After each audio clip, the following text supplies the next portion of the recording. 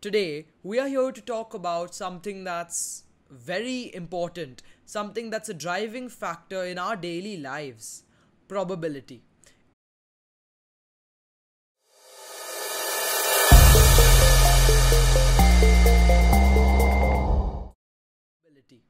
It's what determines, well, the favorable outcomes versus the total amount of outcomes. It basically says the it's the odds of something happening. Every time you flip a card, uh, flip a coin, deal a deck of cards, or roll a dice, probability is at play. And today, that's exactly what we are going to be learning about. There are many ways we can explain probability, but the best way is definitely by using simple real life examples. So today I will be using a coin, a deck of cards, and a dice to explain probability.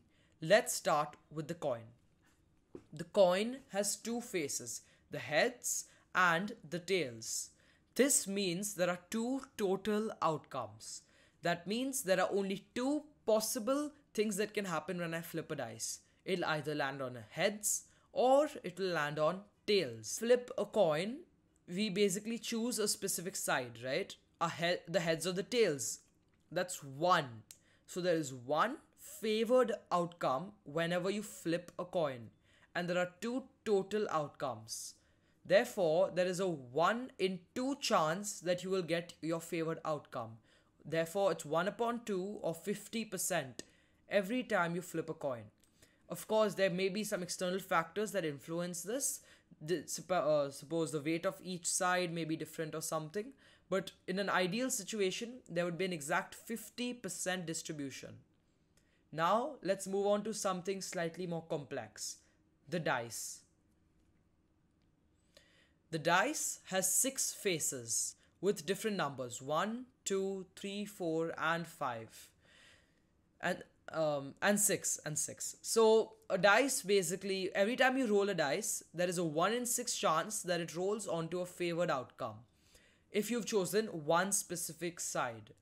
This is the same principle just with a greater number of sides. So the total outcomes will be 6 and your desired outcome will be whatever you choose. Now you could even say you want even numbers as your desired outcome. So there are three even numbers on a dice 2, 4, and 6. So every time you roll a dice, there are there's a 1 in 2 chance that you roll a dice. You could take any you could even take two numbers, in which case it would be a 1 in 3 chance. I mean that you roll on your specific dice. Now moving when we talk about cards, there are 52 different possible outcomes for each card in the deck. Now, as you see, I've just pulled two cards the Eight of Diamonds and the Ace of Hearts there was a 1 in 52 chance of me pulling the first card and there was a 1 in 51 chance of me pulling the second card. The chances of me pulling the card had increased as the total number of cards in the deck have decreased. This occurring is also known as an independent or dependent event. We'll just talk about this in a bit. Independent and dependent events. So what is an independent or a dependent event? An independent event is basically something insignificant, like the size of the dice. No matter the big dice or the small dice, if you roll it, the total outcomes are still going to be 6 and your favored outcomes are still going to be the same. Therefore, the odds of rolling a specific side are going to always remain the same. On the other hand, dependent events are completely different. For example, suppose I shuffle a card and I pick out one card. I've taken out the two of clubs. I've taken it out and it's removed from the deck. Therefore, there are now 51 cards left in the deck. So, the odds of me pulling any other card have now increased from 1 in 52 to 1 in, uh, 1 in 51. Now, uh, I can keep repeating this with other cards um, also, what's going to happen is now there's a 0% chance of me pulling the two of clubs as that is no longer present in the deck. Now, as you can see, I'm shuffling it again and I'm removing it. So now the queen of the queen of uh, queen of diamonds, the king of hearts, and the ten of clubs. these are the four cards that are no longer going to be able to be pulled from the deck. Therefore, there's a 0% chance of these cards being pulled. And the uh, odds of other cards being pulled have now increased from 1 in 52 to 1 in 48.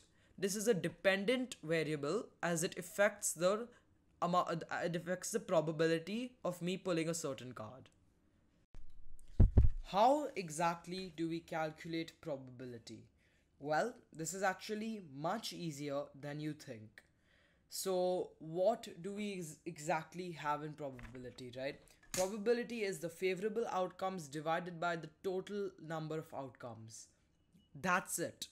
So, for example, uh, we have a dice, and all of our favorable outcomes are the even numbers on the dice. So, 2, 4, 6.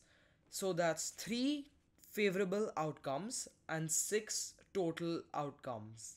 So all we have to do is take the favorable outcomes which is 3 and divide it by 6. So 3 upon 6 which gives us 1 upon 2. So there is a 1 in 2 chance that a roll will land on an even number. Now on the other and we can even multiply this fraction by 100 to give us a decimal value which in this case will be 50%, making it extremely easy for us to quantify the percentage chance of something really happening. The same thing can be done for a deck of cards. Say there are 52 cards in a deck, and all are, and our favorable outcomes are all the aces in a deck, which is a total number of 4. So our favorable outcomes, which is n, equals 4 and the total outcomes, which is capital N, equals 52. So we take 4 and we divide it by 52, which gives us 1 upon 13. So there is a 1 in 13 chance of us pulling an ace from the deck.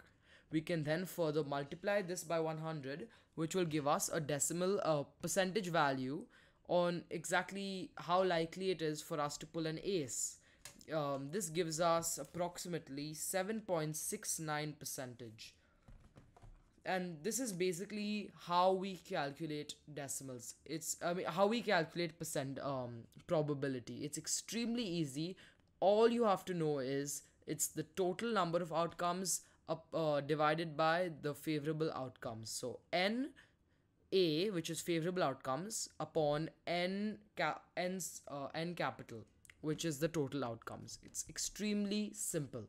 Now, let's talk about where we use probability in our real lives.